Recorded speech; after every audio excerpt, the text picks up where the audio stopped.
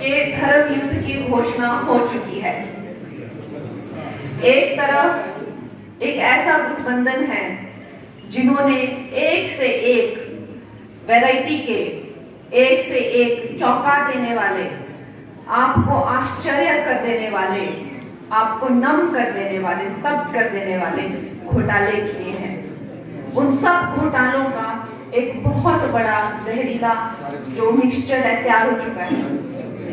वो है इंडी गठबंधन। उसमें ऐसा कोई भी इंसान नहीं है जिस पे कोई घोटाला या किसी तरह का कोई स्कैम रजिस्टर्ड उसके नाम पर नहीं है। और दूसरी तरफ़ है, हमारे यशस्वी प्रधानमंत्री, मंत्री जी की कर्मठता निष्ठा, त्याग, परिश्रम, सत्यवादी, धर्म पर चलने वाली परंपरा। भारतीय जनता पार्टी की परंपरा। तो इस धर्म युद्ध में अब हमें हिस्सा लेना है। और दोस्तों, एक जमाना था, जब भारत को जाना जाता था, एक भ्रष्टाचार का एक कूड़ादान तरह से समझा जाता था। ओपन में कचरा फेंका हुआ है, खुले में शौच करने वाले लोग, दुनिया की सबसे भ्रष्टाचारी देश, इस तरह से हमें दुनिया में समझा जाता था। और ये शर्मसार कर देने वाली बात है।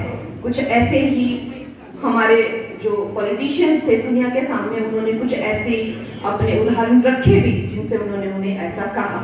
और आज का दिन देखिए आज हम हम भारत को हम जी ट्वेंटी में देखिए भारत को किस दृष्टि से देखा जाता है। ये वही भारत है जहाँ आज 2014 तक जहाँ मात्र अट्ठानवे हज़ार किलोमीटर के हाईवेज बने हुए थे। लेकिन सिर्फ़ पिछले नौ वर्षों में चुरंजा हज़ार से भी ज़्यादा किलोमीटर के हाईवेज बन चुके हैं। एक वक्त था जब हमारे प्रधानमंत्री कहा करते थे कि मैं क्या करूँ? देश में इतने करप्शन है, मैं एक रुपया भेजता हूँ गरीबों तक। उन तक मात्र जो है दस पैसे पहुँच पाते हैं। तो भैया, आप उसके बारे में कुछ करते क्यों नहीं है? आप प्रधानमंत्री, आपको कुछ करना चाहिए ना? नहीं, कुछ किया नहीं। हमारे जो प्रधानमंत्री नरेंद्र मोदी हैं, जैसे ही उन्होंने सत्ता संभाली, सबसे पहले उन्होंने 50 करोड़ से भी ज़्यादा लोगों के अकाउंट्स खोले। अब बीच में कोई भी चौलिए नहीं है। सीधा पैसा, अगर वो एक लाख रुपए भेजते हैं तो एक का एक लाख रुपए गरीब के पास पहुँचता है। वो उनकी इच्छा शक्ति है, वो उनके गरीबों उनके कर्मठता है, उनका उनका एक निष्ठा उनका प्रेम है कि वो सोचते हैं कि मैं कैसे रास्ते निकालूं। हमारी जो महिलाएँ हैं, उनको उन्होंने इज़्ज़त कर दी, वो सोचते हैं उनके बारे में। स्वच्छ भारत आंदोलन चलाया। उन्होंने जितने भी घर बनाए, आप मानेंगे कि अधिकतर घर उन्होंने महिलाओं के नाम किए। क्यों? क्योंकि उन्होंने महिलाओं के स्वाभिमान का भी ख्याल रखा। उन्हें पता है कि जब भी महिला को कुछ मन मटाव घर में होता है तो हमेशा कहा जाता है, तुम्हें घर से निकाल देंगे। अधिकतर जो जनधन खाते खोले गए हैं, वो महिलाओं के नाम पर खोले गए हैं। चाहे वो उज्ज्वला से उनको चूल्हे की समस्या क्लियर की, चाहे उजाला से एलईडी लाइट्स की हो, हर दिन वो महिलाओं के कल्याण के बारे में शोध करते रहते हैं, चिंता करते रहते हैं। महिलाएँ सबके बारे में सोचती है, लेकिन महिलाओं के बारे में नरेंद्र मोदी जी सोचते हैं। उनका सपना इस देश को सिर्फ़ रोग मुक्त करने का नहीं है सिर्फ़ गरीबी मुक्त करने का नहीं है। वो चाहते हैं कि इस देश का हर हर इंसान जो है वो स्वस्थ भी हो उन्होंने कितने उन्होंने कितने सारे जो दुनिया की सबसे बड़ी जीवन बीमा जो परियोजना है, आयुष्मान कार्ड, पाँच लाख रुपए का इलाज मुफ़्त दे रहे हैं। कितने सारे आयुष्मान केंद्र खोले गए हैं? डेढ़ लाख से ज़्यादा। जहाँ पे छोटे छोटे से चेकअप से लेकर बड़े बड़े कैंसर के तक के टेस्ट किए जाते हैं। ऐसी कौन सी चीज़ नहीं है जिसका उन्हें ख्याल नहीं है? ऐसी कौन सी बात है जिसके बारे में वो सोचते नहीं है? अब विमेन रिजर्वेशन बिल जिसके तहत? 30 परसेंट महिलाओं को जो रिजर्वेशन मिली है, उसके कारण आज मैं, मुझे ये स्टेज मिला है। आज उसके कारण आपकी मंडी की बेटी को ये स्टेज मिला है और भारत देख रहा है कि महिलाओं के सशक्तिकरण के लिए, कितनी सारी परियोजनाएँ चली हुई हैं? मुफ़्त राशन से लेकर, मुफ़्त वैक्सीन से लेकर। कितनी मैं उनके बारे में, मैं कितनी आपको योजनाएँ बताऊँ? सुबह हो जाएगी अगर मैं आपको बताने लगूं, लेकिन आपको ये जन जन तक पहुंचानी है।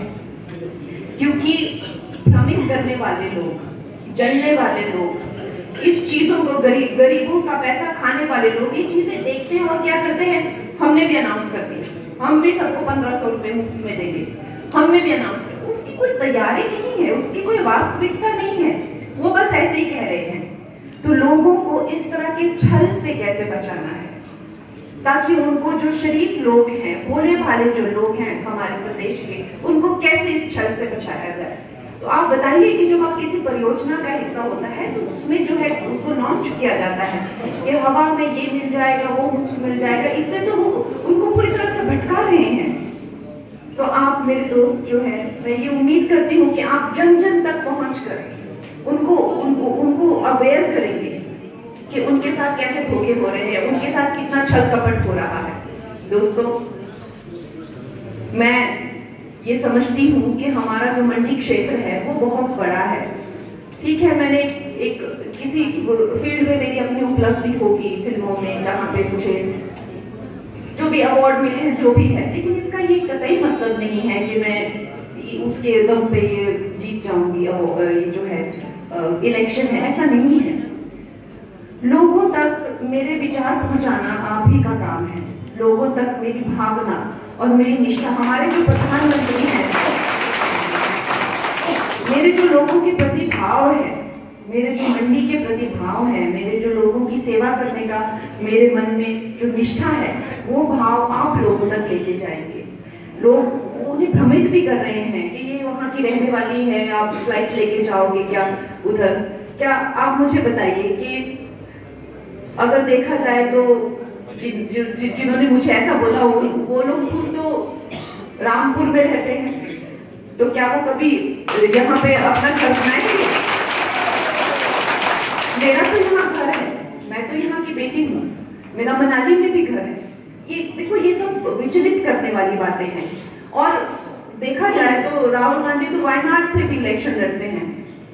यू you नो know, तो इलेक्शन तो कोई कहीं से भी लड़ सकता है वो बात नहीं है। बात होती है कि आपकी मंशा क्या है तुम्हारी भावना क्या है तुम्हारा तुम्हारा से जे तो आपका जो है लोगों को सर्व करने की आपकी सच में ही आपकी बस जीत जाने के लिए या थोड़ा मीडिया में लाइमलाइट में उसकी मुझे कोई कमी नहीं है। मीडिया की लाइमलाइट की मेरा अपना भी प्रोफेशन है।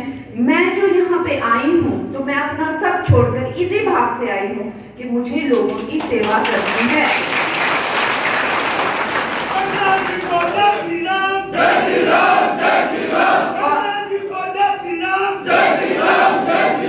और मुझे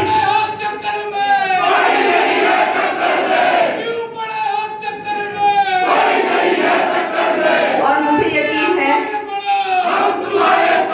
और मुझे यकीन है कि मुझे पूर्ण विश्वास है कि मुझे ये मौका मिलेगा।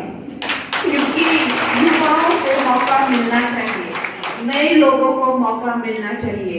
हमें परिवारवाद और वही वही पुरानी सोच से निकलकर नए लोगों को मौका देना चाहिए। और फिर आप देखिए, और आप खुद अपने लिए तय कीजिए, खुद अपने आप निर्णय लीजिए।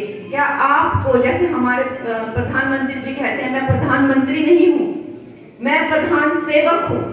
तो आप खुद ये निश्चय करिए, खुद ये विचार करिए कि आपको मैं, आपकी सेवक का काम कैसा लगा।